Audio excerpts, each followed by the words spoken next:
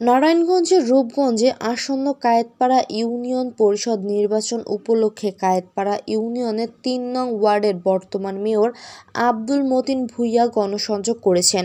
বুধবার বিকেলে কায়েতপাড়া ইউনিয়নের তিন নং ওয়ার্ডের কামসার নন্দা এলাকায় গিয়ে মতবিনিময় ও আসন্ন কায়েতপাড়া ইউপি নির্বাচন উপলক্ষে ওয়ার্ডবাসীর কাছে দোয়া প্রার্থনা করেছেন তিনি। এ সময় আব্দুল মতিন ভূঁইয়া বলেন, গত নির্বাচনে তিন নং ওয়ার্ডবাসী আমাকে বিপুল ভোটে নির্বাচিত করে এলাকাবাসীর সেবা করার সুযোগ করে দিয়েছিলেন।